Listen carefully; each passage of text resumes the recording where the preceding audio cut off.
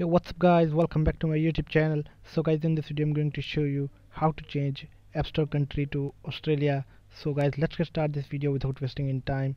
So guys first of all open the App Store app on your iPhone. Tap on profile icon in the right corner.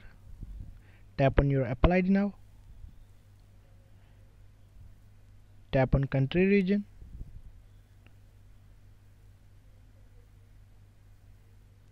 tap on change country or region. So so guys here you can see guys here are the countries all countries. So guys uh, find Australia country. So here is Australia country tap on it.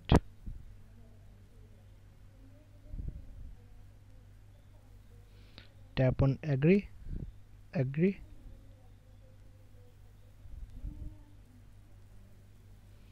so so guys if you have credit card so enter the credit card. If you don't have credit card or paypal account so select none. So none. Enter address. So guys enter any address. Street.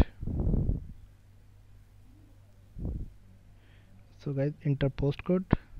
I'm going to any postcode and enter any city and select select state Queensland and enter any number.